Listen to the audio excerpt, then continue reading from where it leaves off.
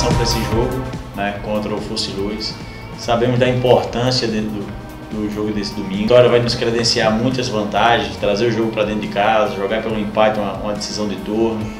Então, amanhã é realmente encarar esse jogo como uma, uma decisão, né? entrar com o espírito de, de, de busca da, pela vitória de uma forma muito positiva, sempre para frente, muito comprometida, para que a gente tenha a condição de, de usufruir de todas essas vantagens. Né? E a recuperação do jogo do Potiguar foi muito positiva, é, o trabalho que foi, foi feito pela, por toda a comissão técnica e pelos próprios jogadores também, mas acreditar ainda mais a importância que esse jogo vai ter.